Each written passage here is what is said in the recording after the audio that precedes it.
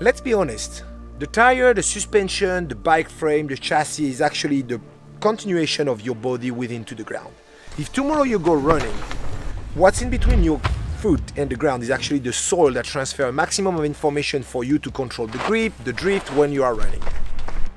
The tire is actually having this exact same effect when you are riding. So you do understand that the carcass and the deformation of it is actually key to get a good ground follow-up and grip when you are attacking. You will understand also that there is different layers that allow the global carcass rigidity. You will have the frontal rigidity, that is very important, but also the lateral one.